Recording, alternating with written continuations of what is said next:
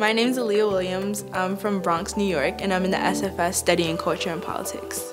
I'm Allison Forger. I'm from Monroe, Connecticut, and I'm at Georgetown studying Justice and Peace Studies and English. My name is Kendrick Beausoleil. I'm a sophomore in the college from Long Island, New York. I'm studying Justice and Peace Studies, thinking about minoring in education. My name is Yasmin Chowdhury, and um, I'm from Staten Island, New York. I am majoring in international politics with a concentration in international security. My name is Jelani Woods. I am from Newark, New Jersey, and I am studying psychology. My name is Cindy Chu. I'm from Bayside, Queens, and I'm studying finance and accounting, minoring in Chinese and bioethics. My name is Nikola Merkovich. I'm from Queens, New York City. I'm studying international economics and Arabic at Georgetown University. Georgetown has taught me a lot about myself and my identity. So I'm like a completely different person than I was um, before I came to Georgetown. So you think coming from New York, you've experienced it all and you've met people from all corners of the earth, but at Georgetown, you truly get the sense that the world is really big and there's so much that you haven't explored yet. When I pick my classes, it's the most one of the most exciting times of the year because there are just so many new opportunities. It is a it's a bit more than I expected. I definitely expected the rigor to be where it is, but one thing I did not expect is for me to find a home on this campus, which I definitely do. I'm always constantly busy and just kind of trying to make the most of my time here at Georgetown, you know, try to use the resources that I have while I have them. The energy at Georgetown is, it can match New York City's energy. Everyone is so supportive. There's the real passion that helps people get through it.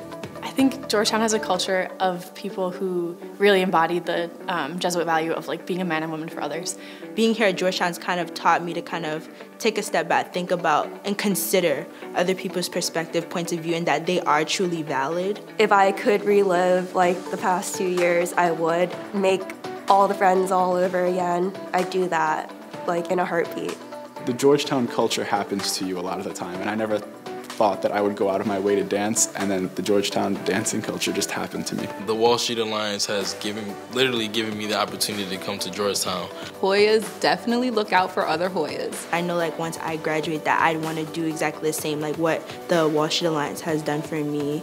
Like I want to be able to do the same for other students. If not for the Wall Street Alliance scholarship, I would have probably gone to a city school where I would not have been exposed to the same people the same opportunities as I am here. The biggest chunk of my financial aid has come from the Wall Street Alliance, and I don't know what I would have done without that. There would have been no way for me to be here.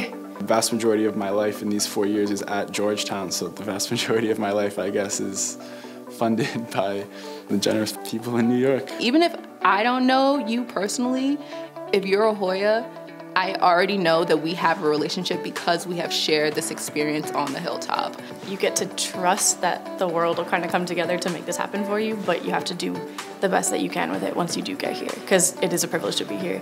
That money's going somewhere great because we're all here at Georgetown working hard. We understand the opportunity that we've been afforded so we're out here to shake things up. And I've learned so much, but I still feel like I have a very long ways to go. I see my sister, she's five, she's in kindergarten. I see her looking up to me and going, you know, I'm gonna go to Georgetown. I'm gonna be like my sister.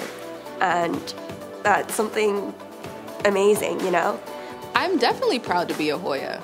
It's one of the greatest accomplishments in my life, and it's something that I will take with me for the rest of my life.